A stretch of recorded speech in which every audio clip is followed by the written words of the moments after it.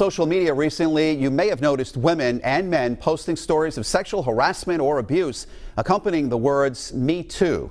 It's part of a movement aimed at drawing attention to the number of people who've dealt with it. This comes in the light of growing allegations of sexual assault and harassment against Hollywood producer Harvey Weinstein. And today, we spoke with the executive director of Day One in Providence, an organization whose primary focus is on sexual assault.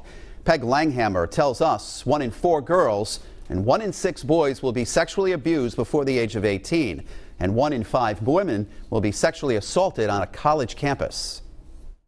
This is like a this is a groundswell, you know, and I think the more people come forward, the more people will be believed, and that's that's kind of what's happening with all of this locally as well as nationally. More than a half million people have posted the words Me Too on Twitter and Facebook just in the past few days. And new tonight, we're sitting down with State Representative Teresa Tanzi, who has been asked to chair a commission studying the issue of workplace harassment and assault. Eyewitness News reporter Sheena Lasciuto spoke with Representative Tanzi. She joins us now live from the State House with what she had to say. Now, Representative Teresa Tanzi says as a lawmaker, she felt like she must use her platform to speak up. She says she's already received dozens of messages thanking her for showing people that more people are sexually harassed than you might think.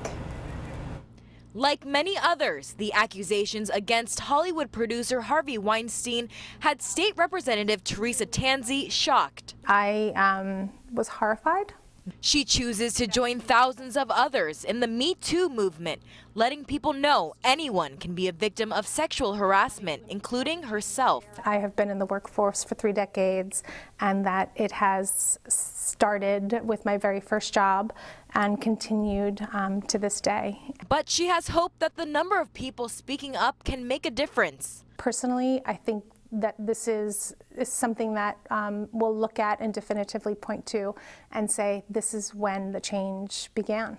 And now moving forward, she's working with lawmakers to make a better environment for all. The Speaker of the House has asked her to chair a commission studying the issue of workplace harassment and assault. I found when it happened to me that it was incredibly difficult to find information about what I could do. And the information that I did find out was um, not very satisfactory.